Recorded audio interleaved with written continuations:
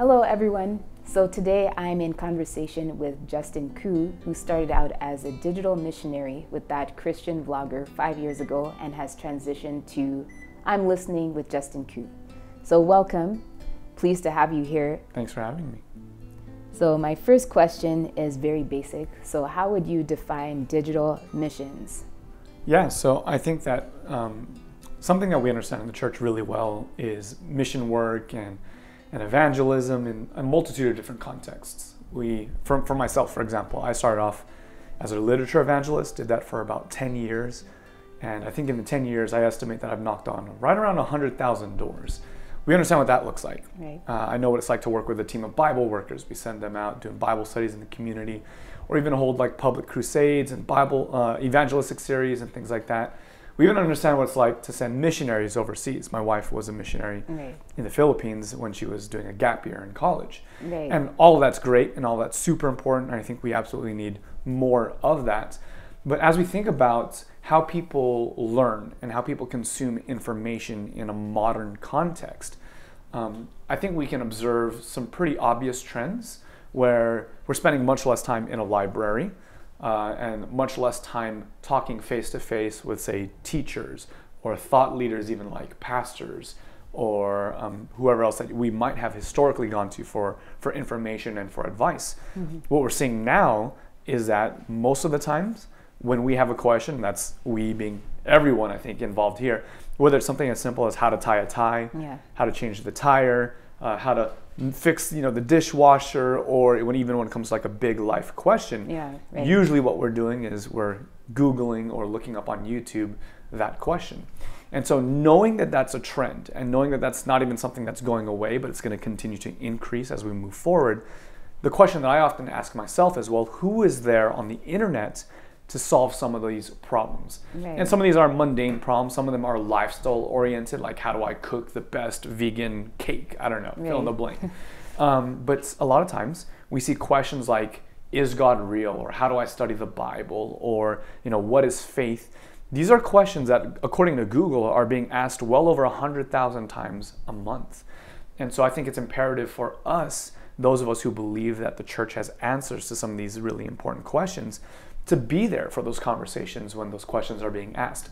And so uh, people like myself, digital missionaries, digital evangelists, we're those kinds of people who realize that, hey, the internet is how most people learn. The internet is how most people consume information presently. And we want to make sure that we have a presence as Adventists when it comes to sharing our answers of hope and healing. Okay. So, as we know, you know, digital evangelism is still in the beginning stages in the church. And, um, you know, we're more used to having the evangelistic series or going door to door. Um, and, you know, the internet is still kind of a gray area in a lot of cases. So, why do you think that the church is hesitant to embrace digital missions or digital evangelism? Yeah, I think that it comes from from a good heart. Yeah. Uh, I think that most people in the church are doing the best that they can to be good stewards of the resources that God gives them. And I think built into that mentality um, generally means that we're risk averse. Yeah. We don't want to spend money on the lat- latest trends or just kind of what's popping or what's hot right now just because. Um, you know, there's a decent chance that in the next year or two, what's popular now might not be popular in the future. And you know, for every every uh, social media platform that is successful, there's probably a dozen that are unsuccessful. And so, dumping money into a particular social media platform can be seen as a poor investment if the if the bet is off, so to say. Um, but with that said, it's kind of hard to ignore the importance of still being present in this space. You know, it- like I think in hindsight, we can look at things like, oh, Facebook. Yeah. Well, that was an obvious win. Yeah. Like we should have embraced Facebook back in 2005, 2006. Yeah. YouTube, when it first got started, was a place for cat videos Right. and and you know lip singing videos and pranks and things like that. Yeah. No one would have guessed that YouTube would be what it is today, you know, over a uh, over a decade ago. So I think that the reason why we're so hesitant is simply because we don't know the future, and and I understand this impulse. Yeah. But I'd like to believe that the tipping point has been happening many years ago Yeah. as far as social media as a general category is concerned. Mm-hmm. It is clear that the internet is here to stay. Right. It is clear that this is not a fad that's going away. Maybe YouTube in particular might not be here in 10 or 20 years, but online video is absolutely something that is Yeah. here to stay. Uh, Right. in the same way that, you know, maybe early on, uh, publishing books or magazines, like if you think of 500 years ago, might have been seen as a trend. Yeah. Mm-hmm. It might have been seen as something that's too expensive to invest in, and, and maybe rightly so. Right. But I'm so grateful that early on, um, the first book that was ever printed on the Gutenberg Press was, in fact, a Bible. Right. I'm so grateful that early on, even historically within Adventism, we saw that the publishing press was something to invest in. And I'm sure it Mm-hmm. cost quite a bit of money to buy those initial presses and to, to invest this money so that we could print literature and books. And I think about the early radio stations that were, were started and the early TV Mm-hmm. ministries that were started. You know, we have a larger footprint due to our investment in modern day media.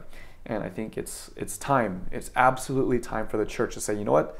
The internet, social media, this is something that we will invest in, even though that there are some risks involved, but we see the scope of it. Yeah. Like talking about what I used to do as far as literature evangelism. Right. It took me 10 years as an individual to knock on 100,000 doors Right.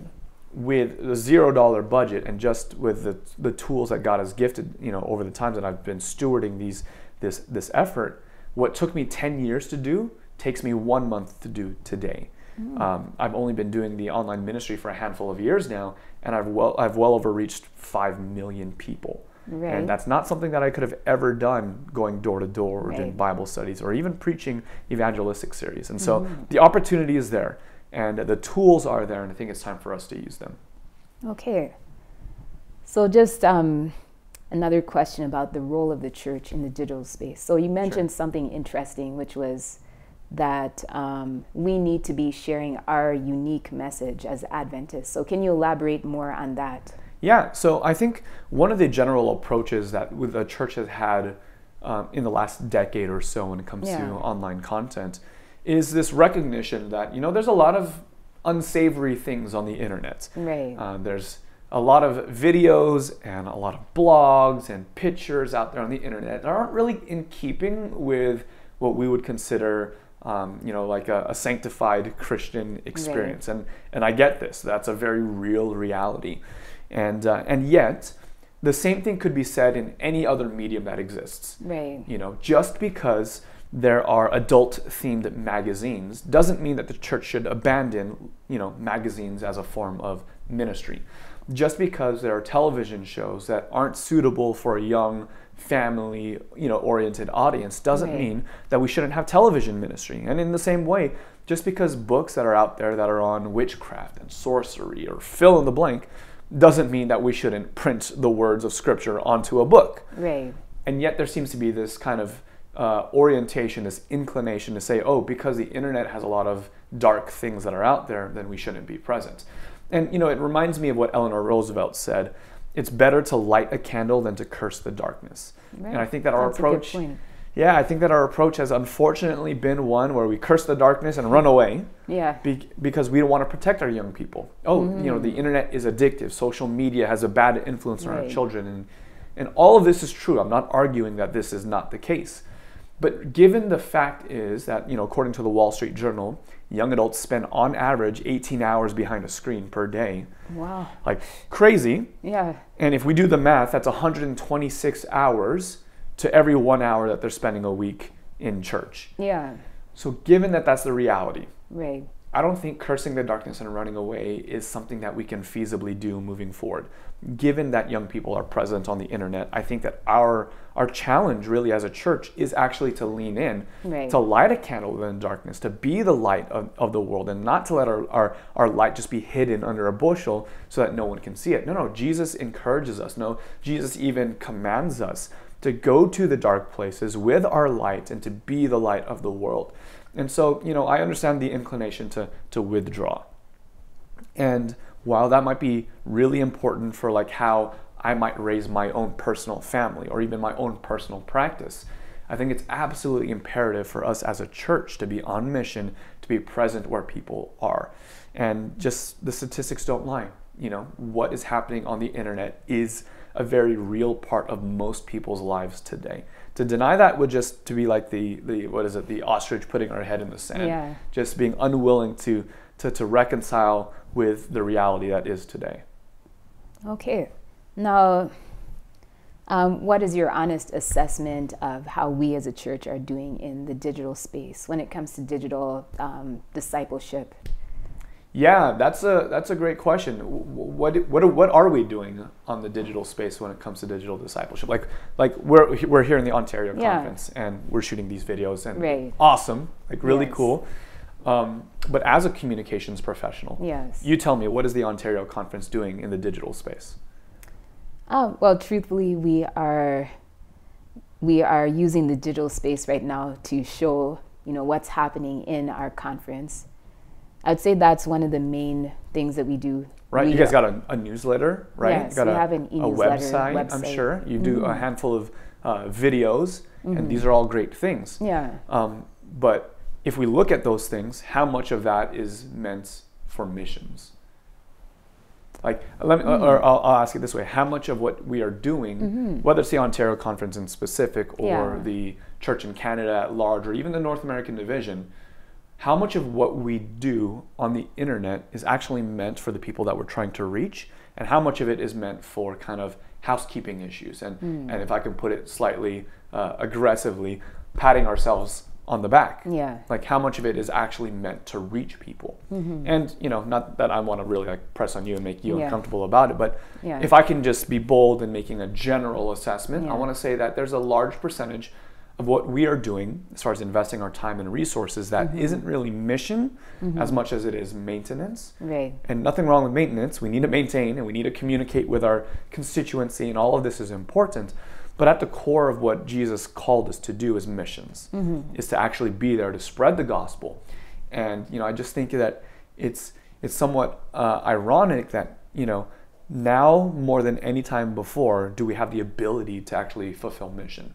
Like I have in the in the palm of my hand with the press of one button the ability to literally reach the world. And whereas it might have taken me time to I've got I've got to hop on a horse and carriage, to jump on a boat, to travel for months to go Mhm. across the sea in order to deliver a message to Right. one person, like with literally push of one button, I can reach thousands and thousands and thousands of people Mhm. in every corner of the world. Mhm. And so, given that that's the reality, again, like, well, what can we do about that? What can we do as uh, a, a church conference? right What can we do as a local church? And even pushing it down, even at another level, what can we do as individuals? Mhm. You know, when I first started, there was no conference funding for this. Right. There still is no conference funding Yeah. for what I personally am doing, and that's fine. Not that I, you know, I was a little bit bitter about that early on, but you know, I just kind of took my own challenge to heart. Like, hey, instead of criticizing, instead of just complaining, what would it look like if I just sought to be the change that I'd like to Mhm. see in the church? And so I just took personal ownership of it. And so when it comes to digital discipleship, I think that there there isn't quite a lot of things that I could point to and say, oh, this is an example Yeah. of something that's going extremely well. There are a few Mhm. things that I think are going well. You know, Mhm. um, there's the Center for Online Evangelism, Oh, yeah. which is a fantastic resource, and I'm grateful to Mhm. actually be a partner of them. okay They are out there uh, trying to change the uh, the I guess the internet's perspective of who we are as Seventh Day Adventists. As if you've Mhm. ever done this, I'm sure you have. You've Googled Seventh Day Adventist. yes Usually, sure. the the first articles aren't very flattering. yeah They're not maybe even true. yeah Um, and so the Center for Online Evangelism is is really making movements to to do a little bit of PR work, which I think is incredible. Mhm. Um, there's other ministries that I'd love to, to mention, like the Haystack oh uh, yeah out of the North American Division is Mhm. a fantastic one. I believe Bible is fantastic. Mhm. My friend Caleb, who runs Humans of Adventism, is doing fantastic work when it comes to storytelling right about who we are as Adventists among this wide spectrum of Adventism.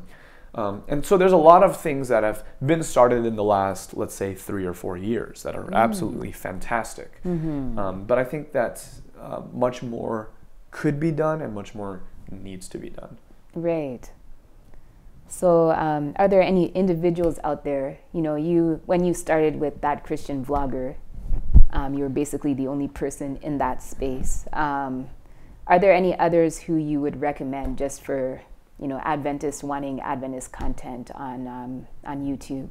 Yeah, that's a great question. Um, you know, five years ago, when I remember searching for Adventist YouTubers, I, I couldn't really find any. Mm-hmm. There was one guy who was based out of Poland. Oh yeah. Uh, Bible Flockbox, and he's been yeah. kind of the one blazing the trail as far mm-hmm. as I mm-hmm. understand. But he's pretty much the only person that I could find at that time. And mm-hmm. you know, five years later, as I'm looking for it now, there's maybe three or four ministries that are out there on the internet, mm-hmm. but by and mm-hmm. large, this is a wide open field that I think mm-hmm. many more people need to be. You know, I think about what uh, Ellen White was saying about uh, the publishing ministry in her day, where there's one, there needs to be a hundred. Right. And I think that if she was alive today, she would absolutely be saying the same thing in regards to uh, online ministry. Right. Now, um, that's an interesting point. You know, Ellen White wasn't around during the time of, of online ministry, but yeah.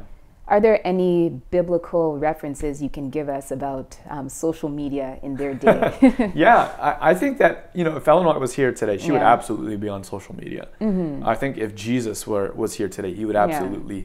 Be on social media. Like it might be a weird way to look at it, but I, I often think about how the Bible came to be. Mm-hmm. You know, John on the island of Patmos. Yeah. He's stranded on this island and can't like physically go to a church, can't be there to give a sermon.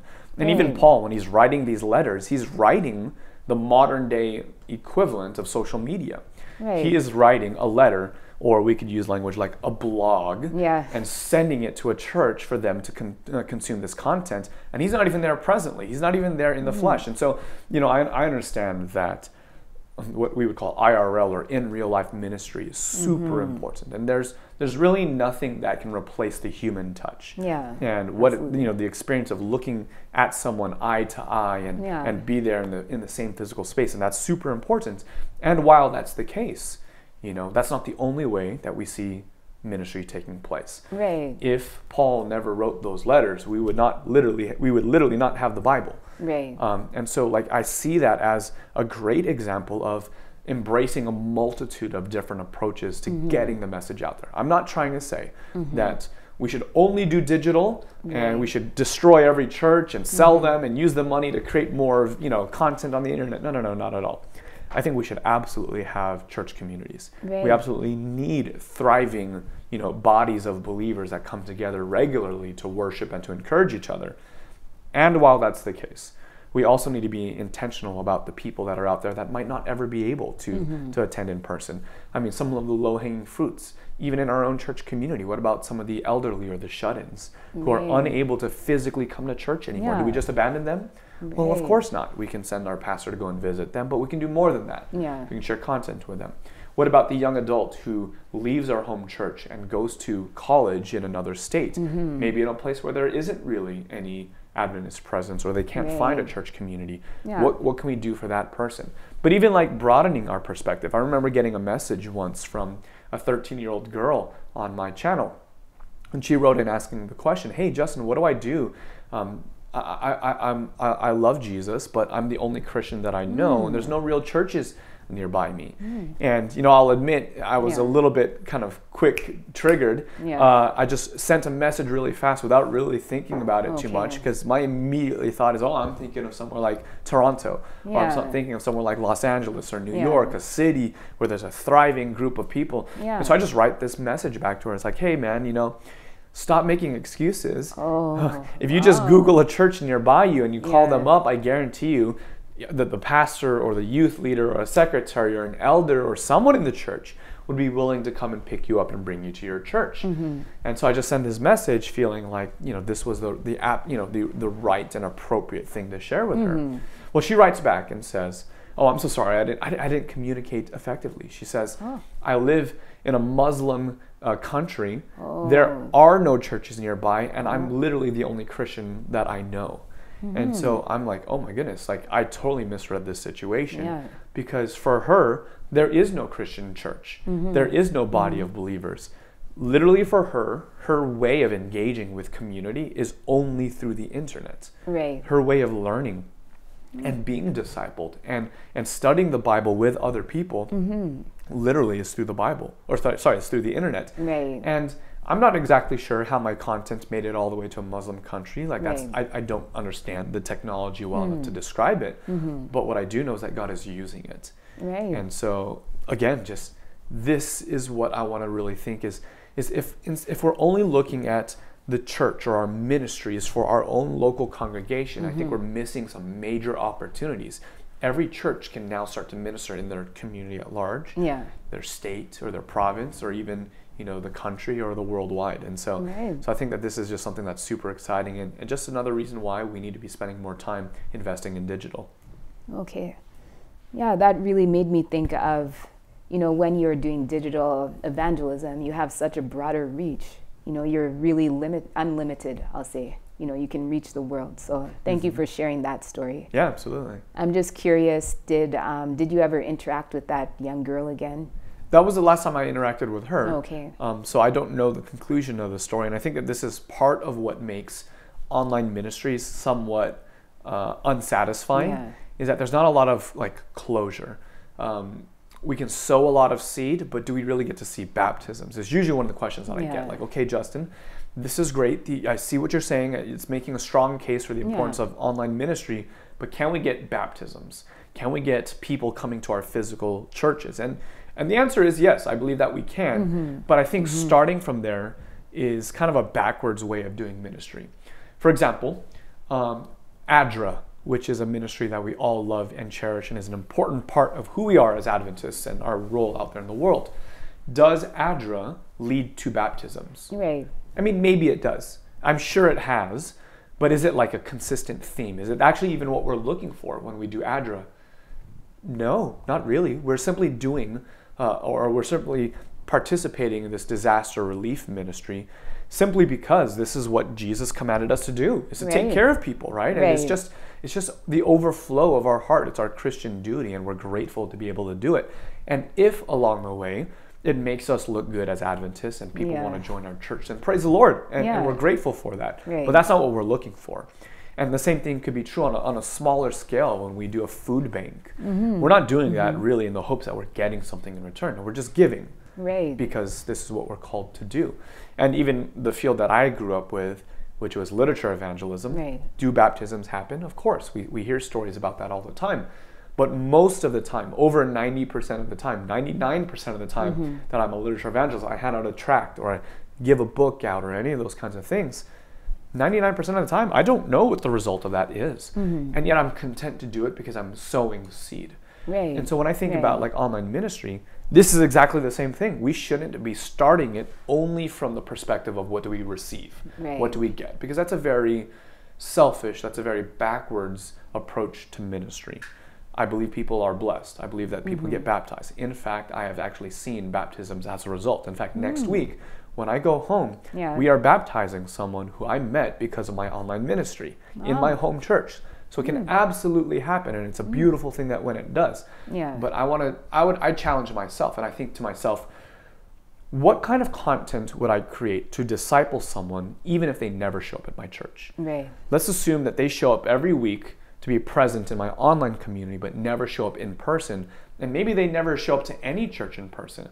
What kind of content that I could I create that will help them grow spiritually? That will hmm. help them uh, have a better understanding of who Jesus is. Who, what, how- what kind of content that I could, could I create that will strengthen their faith and challenge them to live the life of a Christian, a life of service and mission. Right. And I start from there. Right. And I think if I start from there, then I'm actually more likely to create content that is meaningful to the world Right. and actually more likely to reach people in a way that might actually cause them to come to my church and be baptized. So you mentioned that you want to be the change, basically, in terms of how the church is engaging with um, the digital, the digital world. So, what are some things that you are actually doing to try to impact, um, you know, digital missions on a church level? Yeah, yeah, yeah. So um, when I first kind of came across the idea of digital missions, and, and here's why I, I it first came across my radar and why I was so excited about it. Yeah. I was teaching at one of our Bible Bible schools. I was run by the Columbia Union. Mm-hmm. So we were in Philadelphia. discipling a, a, group of young adults who wanted to live on mission and give their life to the Lord and all these different things. And one of the young men that came through this program, his name is Michael, right. and he came across this one YouTube channel um, of this guy based in the, in the Pacific Northwest. Mm-hmm. Now, this guy is not someone that you had ever heard of. Right. No big name, didn't have a million subscribers, was a very small, no-name YouTuber. And yet, this, this young guy was sharing his walk with Jesus mm. on the internet. And for whatever reason, Michael was so impressed with this young man's testimony that Michael not only decided to become a Christian, but he decided to become a Seventh day Adventist wow. because of this YouTube video. Mm-hmm. And so I'm immediately just like, my eyes light up. I'm like, oh my goodness, like, this is incredible. I have never thought of the internet as a place to do ministry. And right. yet, Michael is here right. in church doing ministry because of a single YouTube video. Right. So I'm like, okay, I got to be a part of this. I got to, I got to, I want to see if anyone else is out there doing it. And like I said earlier, there wasn't really anyone doing it. And so from the very beginning, God really gave me uh, a vision of two things. One, Justin, you should be a part of this. This is something you should do, okay, as a personal, sorry, you should do this as like a, a personal project. And mm. two, like this is something that not only needs to happen just here locally, but abroad. And so, you know, what I do as far as trying to raise awareness for this is mm-hmm. I run mm-hmm. my own YouTube channels, right. a couple, have a couple of podcasts, things mm-hmm. like that. But also, you know, I'm out there providing coaching and training for pastors okay. and churches. Right. Uh, I travel around the country, sometimes internationally, mm-hmm. uh, to teach on social media ministry, mm-hmm. uh, to provide training and, and coaching and things like that. And you know, really beyond that, it's just advocating for other other creatives.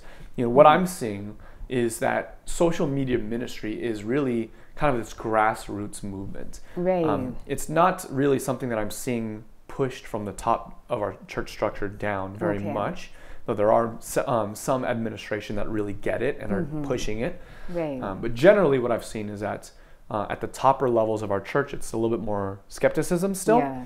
But on the ground level, young people are so on fire for right. media ministry. Right. Uh, even just in the last two or three years, dozens of podcasts yeah. have started up right. um, by Adventist young people. Most of them who work full time jobs mm-hmm. and yet will work extra on top of that in order to create their own shows. That oftentimes at the sacrifice of their own uh, finances and time. Mm-hmm. Uh, we're seeing a small number, there's been way more podcasts than anything yes. else, but a handful of blogs have gotten started, a handful of YouTube channels have gotten started.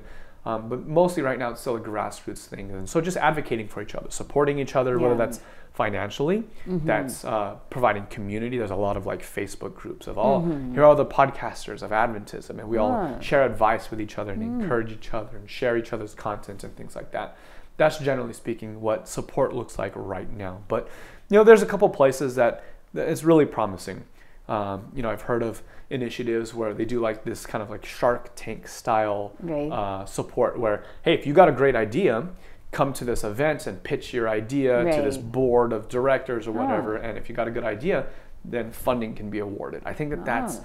a really great place to be. Mm-hmm. Um, you know, the it would be awesome. I think I would love to see conferences and unions and divisions starting to create their own unique channels. Right. Um, and we're starting to see that. Mm-hmm. And I think that that's great. Um, and while I want to see more of that, I think really where the strength of this is going to come, it really lies on individual members of the church. Okay. Uh, people who will say, you know what, this is something that I want to do. And we right. understand this. We know that pastors aren't the only people who are supposed to yeah. do ministry, that it's really, you know, the pastor will do ministry, but yeah. also the rest of the church really has a duty to Hmm. do this. And so that that's kind of just the example that I want to live by, the encouragement that I want to give to those who might not officially be employed by the church, like myself. I'm not Yeah. officially employed by uh, the denomination, but this is still something I consider very important.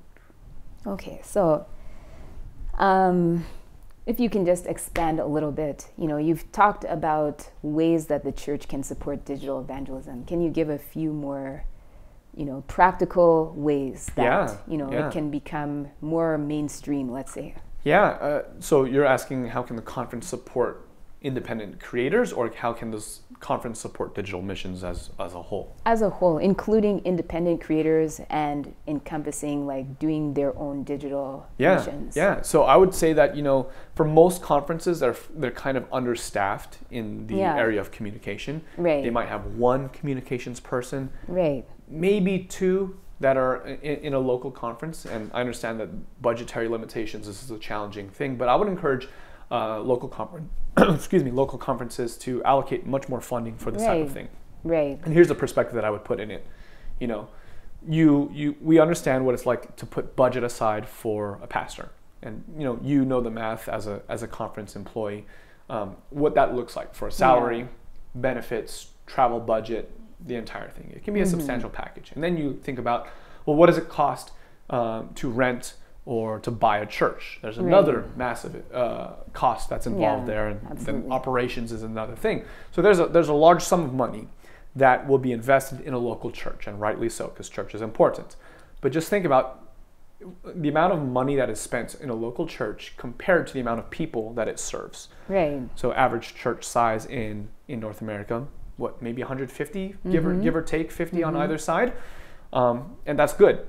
But if we were to take that exact same amount of money and invest that exact same amount towards online ministry, you could literally reach 10 to 100 times the amount of people. Right. And so I would think of it, begin to think of it in, in those terms. You know, we, we I've, I've seen, I've seen uh, events that have been run by the, con- uh, by the church before. You know, whether they are youth events, we do a retreat, we rent a venue, or it's an evangelism conference, or it's a pastoral conference. And sometimes these conferences can cost tens of thousands of dollars. But what if you put that money towards reaching people on the internet? I'll give you an example. Uh, a couple of years ago, I was in my home conference, the Oregon conference, for a high school retreat. And it was a beautiful event, very well done. The people who executed it did it exceptionally well. And while that's the case, they spent all this money and they brought in, I want to say, like 300 high school students, which is Right. fantastic. The same message that they invited me to come and share to 300 students, I then uploaded, because I recorded it myself, uploaded Right. to the internet.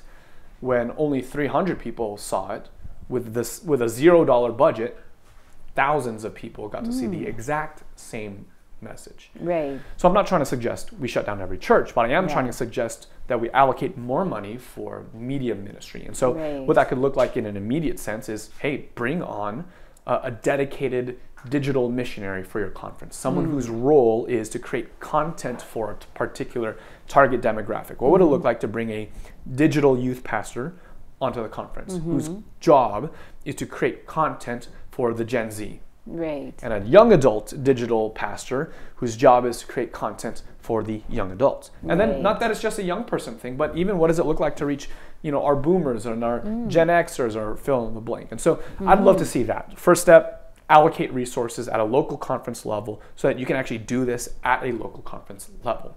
Second thing I would say is I would really encourage the conference to to, to keep their ears open, uh, to keep their fingers on the pulse of what's happening on a ground level Right. in in every conference that's out there, there are a handful of people who are of their own accord creating content already. So let's say you can't allocate a couple hundred thousand dollars Right. for your your uh, media team. Cool, I understand that. But what would it look like for you to join and to support someone who's already creating something? And that support could look like in a couple different ways. What would it look like for you to just show up and be a voice of support? I think that's already something that would make a big mm-hmm. difference for a lot of online creators. Mm-hmm. Um, what would it look like for you to provide mentorship and help in that type of a way and say, hey, you mm-hmm. know, we see what you're doing and it's fantastic and we want to be there to support you. How can we assist you? Um, maybe it's providing funding so that this person can go to conferences to learn more about their trade. I I've been to conferences where I've invested my own money sometimes three or four thousand dollars to show up to a three-day conference. I've spent Right. money for coaching for myself, sometimes five hundred dollars per hour for coaching from some of the industry experts, and that's a luxury that I've had simply because I have a wife that's very supportive and she's willing to live very simply, and so we just pay our own money to, to grow and to learn. What would it look like for the conference to say, hey, if we gave you $1,000 to grow, what would you use it for? Maybe you need money to, to, to, to go to this event or to buy this uh, uh, training course. Or what would it look like for you to even upgrade your equipment? What do you need? We have a, a, um, a shooting facility available and equipment that you can borrow. What would that look like? And then beyond that, like if we want to get even down the level, like where it would really make a big difference, what would it look like for the conference to support, like financially, giving them a stipend? We understand what it's like to give a Bible worker a stipend. Right. What about a digital Bible worker, giving them a stipend? Not that it's a full time job; they'll still have to work and Right. have their own trade, and I think that's that's important because Right. it, it keeps them in touch with the quote unquote real world. Yeah. But giving them a stipend to support, like I think about when I first started, how much even a thousand dollars a month would have changed so much. If I'm honest, right now, even a thousand dollars a month right now would change so much for me and my Yeah. wife and, and what we're trying to create. Right. You know, with with the content that I'm creating right now, it's it's no small investments. You know, I'm, I for example, I started a brand new show recently called I'm Listening, where I'm Mm-hmm. spending time interacting with non-believers. Right. I'm interacting with the kinds of people that our church doesn't reach, with atheists and agnostics, with literal pagans and Wiccans and you know polyamorous and homosexuals and fill in the blank. And I'm spending time with these people and we're seeing dramatic results and, and amazing relationships are being built and, and bridges are being built between these communities where the church doesn't have access to. Hmm. And I'll give you an example. The first episode that I shot was with a, a YouTuber who goes by the name The Raging Atheist Right. who made some really like unfriendly videos about me attacking me as a hmm. person of faith on the Right. internet and we've been having a relationship now for almost two years. Mm-hmm. And this last summer i actually got to go and meet him. Turns out the raging atheist actually lives in battle creek michigan. Wow. and so like here's someone who's in our own backyard but the Yeah. church isn't reaching isn't ministering Okay. to mm-hmm. and yet because of the internet like not only can i have that opportunity but i'm received well with open arms and a hug and i get to spend like an entire day with him and i shoot this episode where we get to talk about his journey Yeah. and his life and everything else like that that one episode Yeah. cost me personally about $2000 out of my own pocket Wow. I had to buy a flight. I had to rent a car. Mm-hmm. I had to hire a videographer to film the entire thing. And then there's the editing and all the work that's involved in producing this episode. Mm-hmm. Right. And I'd like to believe that when you watch the episode, you'll say, oh, this matters. Like this is this is something that we need to see more of. And Oh, this is why I'm so willing to invest in it. But Right. you know, most of us, this is just a case study. This is an example of how most of us who are creating content on the internet are doing it at a sacrifice. Why? Yeah. Because we believe in it. And, and I'm happy to continue doing it. I'm, I'm not, this isn't like me complaining and saying, I'm going to quit if no one supports me. No, no, no. I'm committed to doing this. Mm-hmm. I'm going to continue doing this whether the church supports me or not. This is just something that I'm, I'm, I've settled already. Mm-hmm. Right. But what can the what can the conference do? It can support in this way. Share the content, get the word out there, help other people find it. Mm-hmm. Right. Um, support them through encouragement and support them through through even finances. Hmm. Okay, amazing. Um, and I'll just say that I did see the video, and it Oh, was awesome. definitely um, eye-opening. What, what what did you think of it? What stood out to you? Um, what stood out to me was that, you know, when the the atheist, I don't know his name. Ronnie is his name. Ronnie. Yeah. Um, you know, he said he had grown up in a quote unquote Christian household. But, Right. Um, you know, they were drinking, they're doing drugs, all Oh, this man, crazy yeah. stuff was happening. Robbing people and all Yeah. kinds of crazy things. He was in he was in jail. He mentioned, Yeah. but um, you know, it took like it says somewhere in the spirit of prophecy. I don't re- recall where.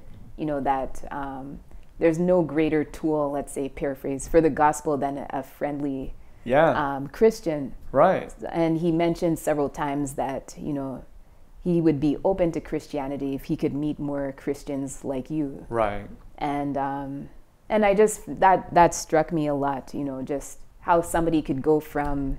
I mean, he's still. He's still I an guess atheist. He's still an atheist, Still an but at least he is. He's open. He's yeah, he's, open. he's not militant anymore. Yeah. Mm-hmm. He's not angry at God. And, and this is something that I think he shared with me that just is so encouraging. And this is, Mm-hmm. you know, uh, a great example as why I'm so uh, invested in this. right. You know, before he was very angry at God, right. very militant, assumed all people of faith were just this list of really pejorative adjectives. Yeah. And now he changes his mind on that. Yeah, there are some religious people that he would have, you know, beef with, as it were. But at the end of our time together, he says, you know what, Justin, I feel like I've made a friend for life. Oh, wow. And and I give him a hug because I feel exactly the same way. You know, I, I love this man and I'm so grateful for our friendship. And, you know, I see God at work in his life. And I'm just being patient. yeah. But I know what the end result's going to be. Oh, you know, I, I believe uh, that God is, is doing a work in his life, and I think that it's abundantly clear. And mm-hmm. you know, whether that that episode is for Ronnie, for the mm-hmm. raging atheist, or it serves as a case study for many of us who grew up in the church, but maybe feel ill-equipped uh, to be able to speak to our atheist friends and mm-hmm. coworkers. And that's that's kind of the intent of this this particular show that I'm doing is modeling what do these types of conversations look like? How do you speak with your gay friend? Right. How do you speak with your friend who just left the church? Or if you meet someone who's never read the Bible before and is literally a pagan who's in the jungles of uh, hmm. Peru along the Amazon River on an you know on a hallucination trip because of ayahuasca with his shaman, like hmm. real story. This is episode three in my mm-hmm. show. This is the guy getting baptized this coming week when I go home. How do I minister to a pagan? Mm-hmm. And what do I say to him when he tells me this dramatic story of him taking this hallucinogenic drink and then his soul tra- uh, transfers out of his body and he's flying among the cosmos and he's like having this psychedelic experience. Right. And you're just sitting there like, I was not prepared for this. Like they never taught me about this in, in, in academy or Pathfinders. Like Sabbath school did not prepare me for this. And like that's how I felt. Right. And yet, being able to lean in with a listening ear Yeah. and to be there for them, like this is this is what can happen, and, and seeing Mm-hmm. the transformation that takes place. Yeah, so something that um, struck me as well was Ronnie said, you know, that patience is, is really important. Like if you are, Yeah, I guess you're trying to maybe get someone to, to open their mind to different to a different belief system. You know, be patient. So finally, you know, what are some best practices that you've discovered in your journey that you can share with um, the church in terms of digital missions? yeah. I would say that the first thing uh, really is more of an attitude thing. Yeah. And my my suggestion is be willing to fail. Right. When I first started my YouTube channel, I simply told God, "All right, God, I'm going to give you a one-year commitment of my time. I will make sure that I post a new video once a week for an entire year." And Right. what that looked like, to give you context, I never took a video editing course. Right. I'm, I never took a graphic design course. I was literally like on YouTube, hmm. how to edit a mm-hmm. YouTube video, watching the video so that I can create my own video. Mm-hmm. So I was completely inexperienced Right. when it comes to social media ministry. Mm-hmm. But I was willing to put my efforts out there and I was willing to fail and say, hey, you know what? I tried it for a year, didn't work this time through. Maybe it means that it's not for me. Okay. Or maybe it means I should try something different. I didn't know what it would mean, but I was willing to try. And I think because of that willingness to fail, I mm-hmm. actually got started. And I think most people are, are, are really hesitant to start because they're afraid of failing. Right. right. Failure is okay. Failure is how we learn. Mm-hmm. We understand this in every other context of our life. Mm-hmm. If you are afraid to go up to bat, like say, like literally baseball, you're afraid to miss, well, you'll never get started. In fact, the world's best baseball players, and I know I'm in Canada, so baseball's not as big here in, in Canada, but the world's best baseball players fail over 50% of the time. Right. The ones who make millions and millions and millions of dollars fail more times than they succeed. Right. And that's just mm. true in life. So being willing to fail gives you the courage to start. Mm-hmm. And so that's where I would really begin with. Right. Start something. And it's mm-hmm. okay if it fails, but grow and learn from there mm-hmm. and then keep growing and learning. Right. So just have the courage, get started. Done, in my opinion, is better than perfect. Mm-hmm. And the cool thing is, like, not only does he use it, but he grows you and makes it better. Like, thankfully, I'm I'm not as bad at Yeah. creating content on the internet as I was when I first started. There's a growth that takes place. Right. Um, but it all starts with that courage to begin. So thanks, Justin, for being willing to stay with us this extra day and just share with us your wisdom that you've gained over the, the past five years. Absolutely, my pleasure. And thank Yeah. you to you and everyone else in the team. There's a lot of people behind the scenes that are here in this room, but thank you all for, for the work that you guys do and the, and and for, for blazing this trail and for mm-hmm. being willing to lean into this and ask these types of questions. What are we doing, and what else could we be doing, and, and where is God working? I appreciate it very much.